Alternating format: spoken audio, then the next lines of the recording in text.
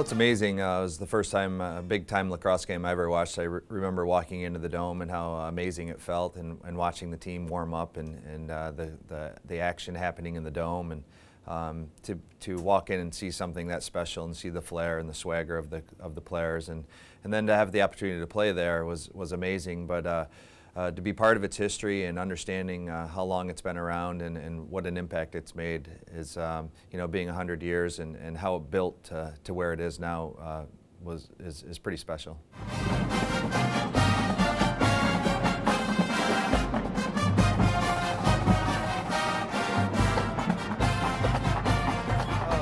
Was uh, really cool. Um, we grew up uh, fantasizing about being Syracuse lacrosse players in our backyard, and to have the opportunity to go there, and, and my brothers. Uh, uh following me, and, and uh, I had a great career. And my brother Ryan uh, one upped it, and my brother Mike, you know, upped up my my brother Ryan. So to you know, kind of be the leader of the pack was was extra special, and, and have the opportunity to play with my brother Ryan, and then watch my brother Mike have arguably one of the most decorated college uh, lacrosse careers of all time was uh, very special. So it's a, it was neat that we grew up. Uh, that's what we wanted to do, and we, we went for it, and we did it.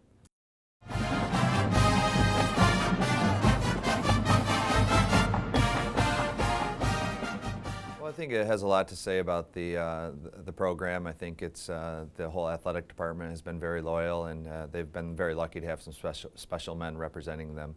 Um, I was I've met three of them before, and um, uh, Roy Simmons Sr. is a very special man uh, that I met briefly and I uh, got to play for his uh, son, Roy Simmons Jr., who's, uh, in my opinion, the greatest lacrosse coach of all time, and, and uh, Coach John Desko, who's currently there now. Is, I was able to play for him as well, and he's done a fantastic job in upholding the tradition.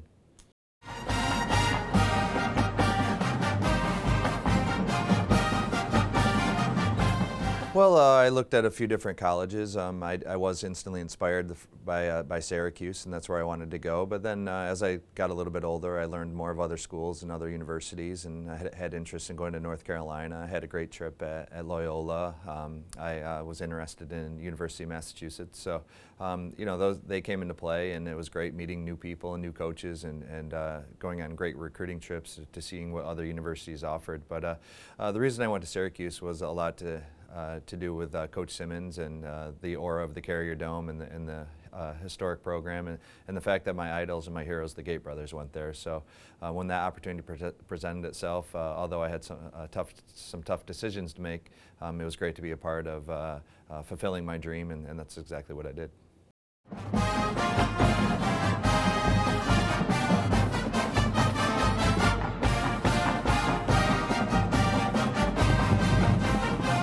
Yeah, I, I think uh, the Gait brothers uh, changed the game forever. They uh, they were the first uh, mega superstars of lacrosse, and uh, they had uh, highlight videos and instru instructional videos, and we would go in our backyard and, and mimic the videos. we'd have our personal camcorder, weighed about you know 90 pounds back then on the shoulder, and, and we'd we'd you know try to copy their the way they talked and the and the way they displayed.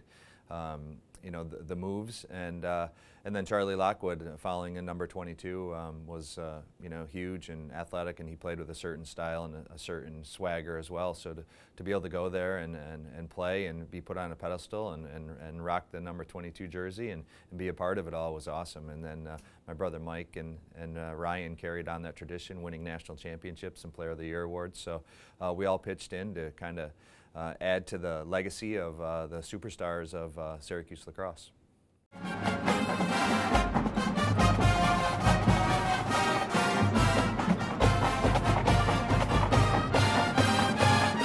Um, well, is uh, a lot of fond memories uh, for sure, but I, I, think one of them uh, personally was my last game and Coach Simmons' last game, and I remember the pregame hug and uh, that was really special. And I remember the feeling I had when my brother Ryan tied uh, the uh, all-time record, 19 seconds left. Uh, that was awesome. And then uh, to be in attendance at Georgetown University when my brother Mike broke the record. So um, I've uh, had some personal great moments, and then to be able to follow it up by watching my brothers was awesome.